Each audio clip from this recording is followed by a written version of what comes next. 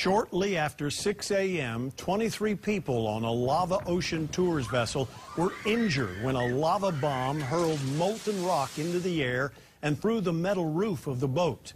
We spoke to two of the passengers on the boat who told us they watched as fiery rocks flew toward them. We had been watching it and it was so beautiful, and then all of a sudden it was like, oh my God. I guess the worst part is, like Aaron was saying, there's there's nowhere to go. You're in a boat that's only so big, and you're just getting pelted. Again, 23 people were hurt, one seriously with a broken femur. She had to be flown to Oahu for further treatment. Manolo Morales spent the day on the Big Island. He joins us now with the latest. Manolo?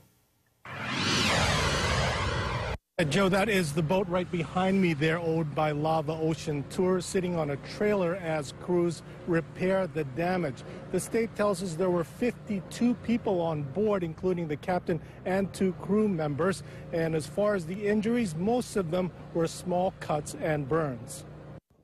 Passengers aboard the boat named Hotspot got a much closer look than they wanted as they were showered by molten lava.